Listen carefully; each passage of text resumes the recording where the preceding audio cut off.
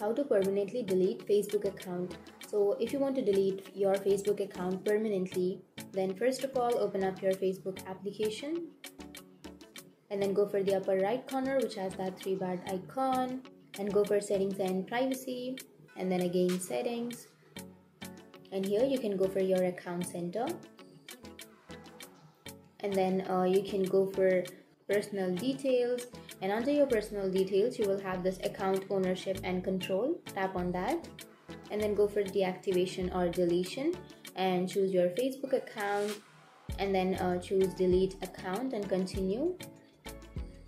And um, continue. If you have uh, something like your page connected to your facebook account then it will also be deleted.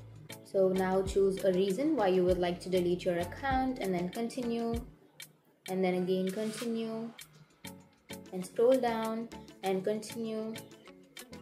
And this is the last step. So if you really want to delete your account then here you have to enter your password. And after entering your password your facebook account will be deleted. So um, that's it. That's how you delete your facebook account. And if you have any questions feel free to comment below. Thanks for watching